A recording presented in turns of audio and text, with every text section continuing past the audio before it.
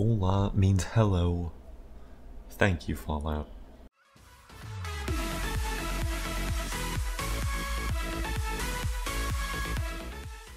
Welcome back to Sanctuary.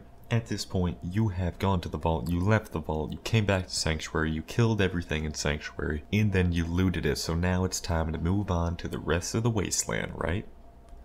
No. They made Sanctuary an absolutely huge settlement for two reasons. The first one, of course, is because plot and this is where you were from, so it makes sense that they made it big and prominent. But the second one is that it's the first place you're going to, so they had to give you something to work with. And man, did they give you a lot to work with. Right now, you should be level 2. That means you should have a point in Idiot Savant, and you have a lot of other skills that you want to level. But you can't level them unless you actually have levels. So what are you gonna do? Take your chances in the wasteland, or are you going to find some cheesy way to scrap up 16 to 18 levels before even leaving Sanctuary? If you chose the first option and you're playing in survival mode, go ahead, you can go out to Concord, feel free to die. But if you'd like to sail through the early game easily, then I suggest you stick around for a couple more minutes because it's time to get started. Now if you haven't already, go ahead and go over to the workshop and you should be able to search it by hitting E. I've already done this so that's why it says workshop and transfer. Now you entered workshop mode, that means you're able to build things and more importantly, you're able to scrap things. So go over to objects, hit R, and then you're able to break them down into parts. In this case, it's going to take a mailbox and make it into 6 steel. And then we can just keep on doing this to all the different objects around, even some of the houses. Now I'm going to go around scrapping literally everything in Sanctuary. Trees, branches, everything that you're able to break down into components. Now I'm just going to time lapse it so you guys get to watch the shortened version because there's not too many instructions to give you other than go around finding things that you can scrap and scrap them.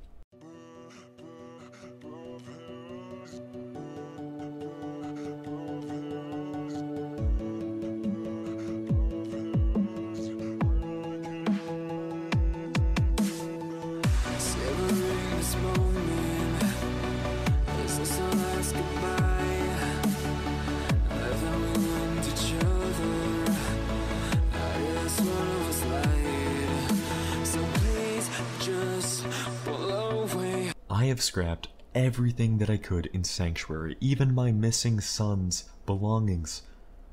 The only things I left behind are the workshop, I'm going to need that, the weapons workbench, I'm going to need that, the armor workbench, I might need it, depending, and the bed. So the way we're going to do this is we are going to build some things, but first let's take a look at our stats. Right now, I am tired, I am peckish, and I am thirsty. The biggest effect here is thirsty, I need to get rid of that because that is lowering my intelligence, which I need because I'm going to be trying to get a lot of experience. Oh, radiation storm, going back to bed. Fun fact, you can just sleep your way through a radiation storm and it'll act like it didn't actually happen while you were sleeping. Okay, now, that wasn't the best, but I have weakness, which doesn't matter because I'm not fighting anything right now. I am hungry, and I am thirsty. But also, I am being affected by well rested, which is giving me extra endurance, agility, and very importantly, an additional 10% XP for a limited time. And let's take a couple of sips of purified water. And two more things that I'm going to do here are I am going to take a Mentats to increase my intelligence by 2. I'm going to drink some purified water because the Mentats made me thirsty. And I'm going to take off of that cap. So now I should be sitting at 5 intelligence. I want to keep my intelligence as low as I can for Idiot Savant while still getting it high enough so that when I place down a fence post, I get 3 experience. Fence posts can be found under structures, fences, wire fences, and it's the first option. So now what I'm going to be doing is I'm going to place down a ton of these fence posts. Now this is going to get me an extremely large amount of experience. So I'm going to try to do this quickly so that I can preserve the mentats and have them affect me for as long as I possibly can. I have a lot of wood, so this will take a while, but this is, as you can see, getting me a ton of experience all the way up to level 3. And hopefully this will be able to get me to level 13. There's a Proclavated Savant like I wanted, and more. I'm gonna time lapse this like I did before, so I'll see you guys in a little bit. I can't look you in the face. I don't wanna have to lie.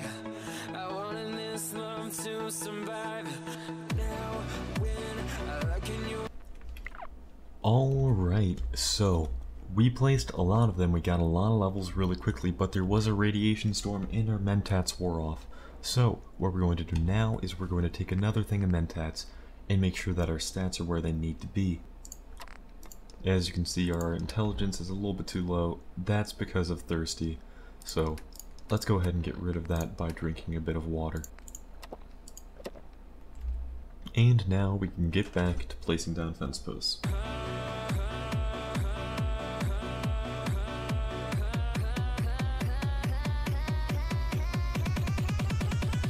And now that we have placed down all of these fence posts, what we're going to do is we are going to scrap them like this. And then that's going to let us place down more. And we're going to keep on doing this process of scrapping two, placing one, scrapping two, placing one. And we're going to do that until we are out of these fence posts. See you guys in a little bit.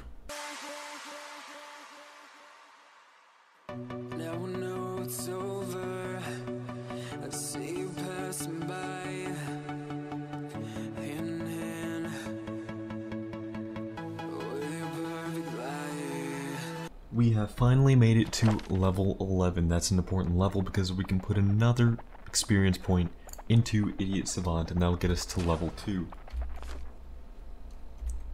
Now we're going to keep on working with these Mentats and that'll get us a little bit more experience. So once again my Mentats have worn off so I'm down to only having 3 intelligence. I need to get that number back up to 5 so I'm able to get experience. Now how am I going to do that? First off, let's put a level into intelligence. This is going to put us a little bit behind in terms of Idiot Savant, but it's going to put us a level closer to having Science, which is a skill that we're going to need to have at some point, so we might as well put a level into this now, and it'll get us a little bit closer. Now, on average, putting that level into Intelligence is going to reduce the amount of experience that we get from each thing, on average counting Idiot Savant procs by about 1%, because Idiot Savant gets you about 4% additional experience per instance of getting experience in comparison to the 3% which is flat from intelligence. That's not too big of a trade-off, it's not a problem, but the reason that we're doing it and losing that 1% is because if we do one more intelligence, which we can get from wearing this hat, we are going to be able to get that 3 instead of 2 from each and every post that we put down, which is a guaranteed 50% boost in comparison to on average losing about 2%. So it's definitely worth doing. Three things have happened here, three things. First one, we are now out of wood. We have used up our entire supply. We are not able to make any more fence posts, and that got us up to a whopping level 15. So let's go into our inventory because we are a little bit thirsty, and let's take another drink of purified water. Now, we still have quite a ways to go, and there's not really anything left here that can get us any XP. But we're gonna go back into our workshop and check this out. If you go all the way to the right within those fences where you were before, there are fences that can be built out of steel. And we're gonna do the same thing that we did with the wooden fences. That worked pretty well, and made a really cool looking line of fences here. Seriously, look at that. You guys know the drill. Go into the workshop and get to scrapping. The final tally puts us at being level 18. Now let's take a minute to think about this. We're going to be able to head out into the Commonwealth with 14 of these abilities already leveled. But wait, because we made it to level 18, I'm going to show you guys a little thing you can do that is not in Sanctuary. We're heading over to Red Rocket to do the exact same thing. So now what we're going to do is we're going to close off this room because we don't want any of the mole rats that are about to show up to get inside. Dogmeat, please don't do that. Hear that? Mole rats. Now we can help out dog.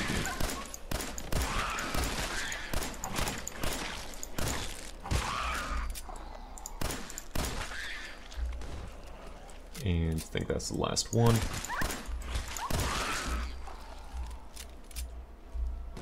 Yep, that is it.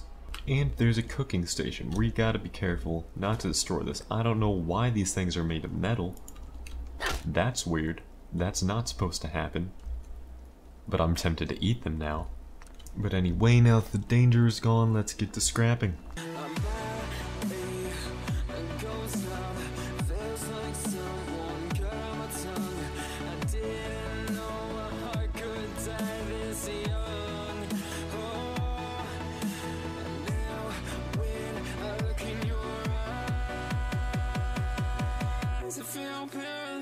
So it turns out, if you don't move while putting down wire fences, they can all go in the same spot. And after that little bit of work, that put us all the way up to level 20 before fighting any enemies in the Commonwealth other than a couple of rad roaches and a couple of mole rats. And as the title of the video says, the true beauty of this strategy is that this is completely glitchless. This is not something that will ever be patched because it is a meant to be in the game mechanic. You're simply taking advantage of it in a way that may not have been intended. I hope you guys enjoyed this video. You should be out to an amazing start in the Wasteland. This will work in any mode, but it's specifically useful in survival because of all the challenges that you'll face. So if you use this strategy and if you liked this video, then like this video, leave a comment below about any questions you have about Fallout 4 technology, I can answer those. If you didn't quite understand something about this video, go ahead and ask about it. I'd be more than happy to explain it. And of course, don't forget to subscribe to learn how to tech. I feel paralyzed